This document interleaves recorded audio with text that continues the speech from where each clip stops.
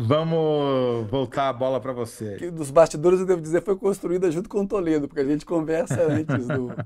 Toledo é o melhor editor é que eu tive na minha aqui. vida. É, além de ser meu amigo, é um excelente editor. Ô Zé, vamos lá. Ô Zé, quem é que está mais e quem está menos empenhado, entre aspas, no governo Lula 3? Pois é, Kennedy. Na, ontem, é, e a gente só ficou sabendo hoje, porque demora um dia para os sites oficiais serem atualizados. A gente acabou de ficar sabendo que o governo abriu o cofre e para um tipo de emenda parlamentar específico, que são as emendas de comissão.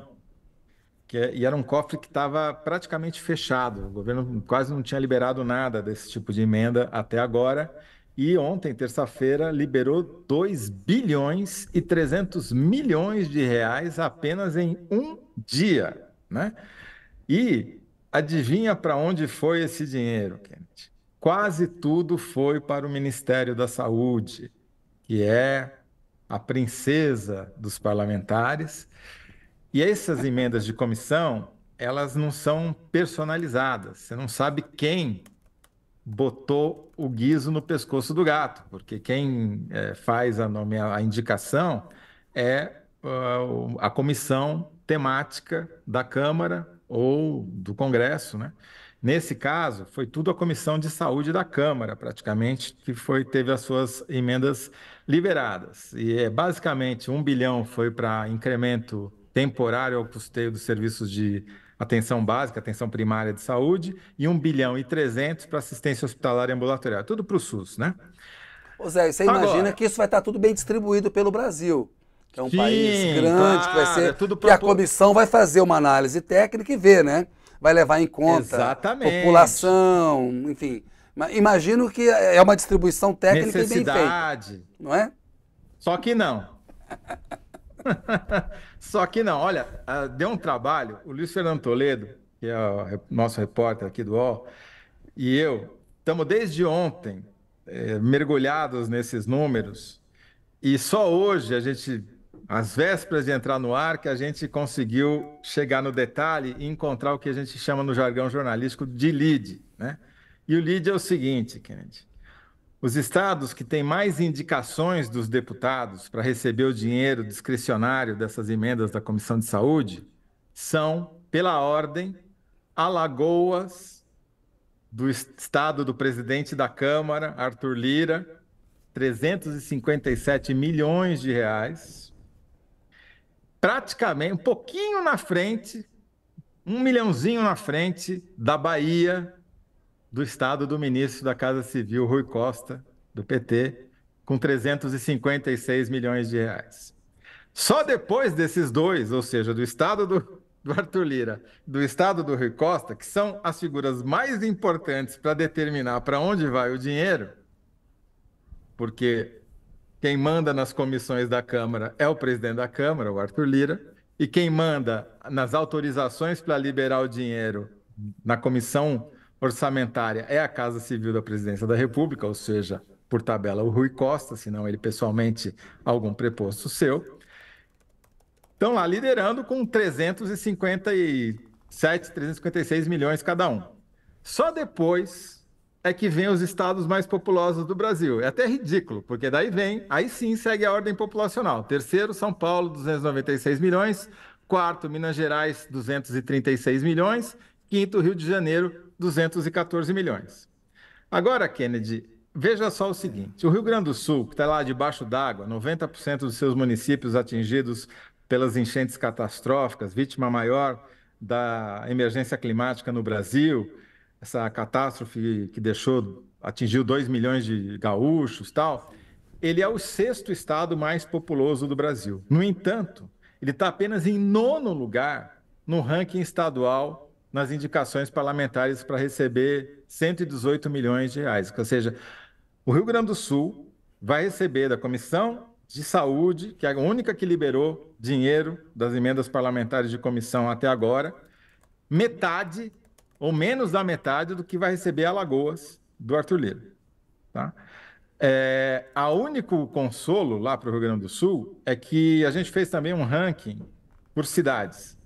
E a capital Rio Grande do Sul, Porto Alegre, que também, infelizmente, está debaixo d'água, está em primeiro lugar nos rankings, vai receber 43 milhões da Comissão de, de Saúde da Câmara. E em seguida, vou te dar uma chance só para acertar qual é a segunda capital que mais vai receber dinheiro. Kennedy. Alagoas. Maceió. Maceió, capital de Alagoas, 36 milhões. Zé, Alagoas dizer, tem 3,3 milhões de habitantes, a Bahia tem 15 milhões. Recebeu a mesma coisa. É. Se você levar em conta o critério populacional, é muito dinheiro para Alagoas, na comparação com os não. demais estados. Eu não sei que justificativa. Não, Imagino que então, tem, tenha que haver alguma justificativa. A destruição do sistema de saúde de Alagoas está precisando ser recuperado.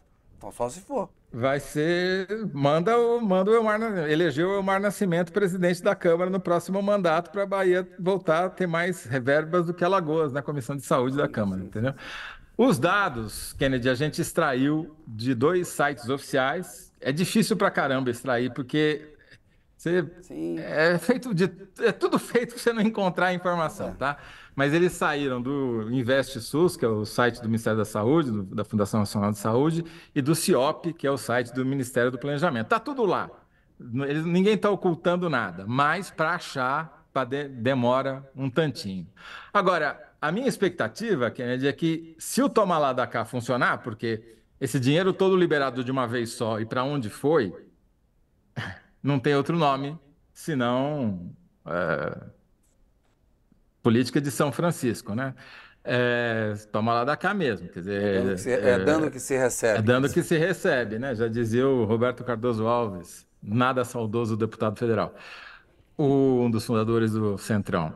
É, se o toma da cá funcionar, a expectativa é que o atendimento preferencial ao estado do Arthur Lira, Alagoas, faça com que a Câmara finalmente comece a votar os projetos de interesse do governo nesse ano, né? Porque agora, Kennedy, como é ano eleitoral, você não pode fazer transferências que não sejam obrigatórias para estados e municípios depois de julho. Eita. Então tá todo mundo desesperado, tá todo mundo correndo para empenhar o máximo de verba possível, entendeu? E, e aí tem um desnível enorme entre os ministérios. Só para não dizer que não falei de flores, tem ministério que empenhou menos de 9% da sua verba de investimento até agora, é, enquanto tem outros que já empenharam mais de 90%, entendeu? Então, é, em geral, são aqueles ministérios que foram representados simbolicamente na subida da rampa da, pelas pessoas que acompanharam o Lula quando ele tomou posse. Mas aí está então, faltando ministérios... um pouco de gestão também, porque empenhar só 9% da verba que tem direito, né? Assim, o pessoal também tem que ir, né? Ir lá no Haddad, Exatamente. no Rui Costa e, e, empenhar, né? Não, e precisa ter projeto, né? Precisa ter, precisa ter processo, precisa ter uma licitação pronta, né? Você precisa tem elementos para você poder pedir o empenho. Não é nem só a questão da força política, é questão de você, é uma questão de administrativa, né? Você pega órgãos tipo que já são tem muito advogado, Advocacia Geral da União, Defensoria Pública, Controladoria Geral da União, já tem mais de 90% é. empenhado para o ano, em maio, entendeu? Conhecem os, cami os caminhos. Conhece como a máquina funciona, entendeu? É, essa que é a... Mas assim, não tem para ninguém. O Arthur Lira, nessa terça-feira, lavou a égua. Pois é. A gente não gosta de demonizar a emenda parlamentar, a gente não demoniza a política, mas tem um problema nessas emendas, né? Está claríssimo, assim. É uma maneira de você direcionar o orçamento de uma maneira muito pouco transparente. O Toledo falou, os dados estão lá, mas dá um trabalho danado garimpar e ver para onde foi. Não, Eles deviam ser os primeiros a deixar isso tranquilamente, que pelo princípio da transparência, não é só publicar não, é tornar aquilo acessível. Se você publica de um jeito que dificulta a acessibilidade, entendeu? você está tentando esconder a coisa também, né? Porque eu no, eu, no máximo, consigo dizer que foi para atenção ambulatorial, para atenção hospitalar do SUS, mas eu não sei para qual hospital, não sei quem é o fornecedor que vai receber esse dinheiro, não tenho acesso a esses detalhes, entendeu? Porque ela é descentralizada, essa verba. Ô Zé, mas a Bahia tem 15 milhões de habitantes, recebe 356. Depois os mais populosos recebem na casa de 200 milhões. Um estado que tem pouco mais de 3 milhões de habitantes receber 300 de uma vez só, tem que ver por que, que isso aconteceu, né? Não é, é mas, tem, mas tem um habitante que faz a diferença. É. O que está errado, né? O que está errado. Sim. Porque essa concentração de poder assim numa democracia não é, não é boa, não. Isso é uma deformidade aí da, da democracia. Acaba gerando problema. A gente já viu o filme com o Eduardo Cunha e já viu onde deu essa história, né? No impeachment sem, sem prova. Ô Zé, vamos seguir adiante aqui, ah, mas faz a sua síntese, por favor. Alagoas Quem? de Arthur Lira lidera em verbas de emendas de comissão. Eita, essa tem que ir para home do ball, lá para cima. Manchete do, da home. Porque... Faz lobby aí, Kennedy, faz lobby. Não, vou fazer, vou falar com o Felipe Virgílio aqui, com a Natália, com a Clarissa, eu conheci hoje aqui, com a galera toda, o Antônio aqui. Pessoal, coloca o Toledo na capa aí lá em cima, vai, que ele merece. Ô Zé, é, deixa eu ver aqui, mais um pouquinho de... Olha aqui. Socorro Rocha. Amo o UOL. Muito obrigado, Socorro, pela parte que nos Obrigado. Toca. Garantiu o nosso salário até amanhã. é... Fátima Palheta. Alagoas teve enchente? Maria não. Sandra Gama. Não teve. Pois não, é. teve a Braskem, né? Mas não se compara. É, é verdade. é, Maria Sandra Gama. Boa tarde. Acompanhar ao vivo está difícil, mas consegui chegar. Obrigado, Maria Sandra, por acompanhar. Mas se não conseguir acompanhar ao vivo, Vai depois lá no YouTube, tá lá o programa, assista, manda para quem você gosta aí, divulga a gente. Nós agradecemos.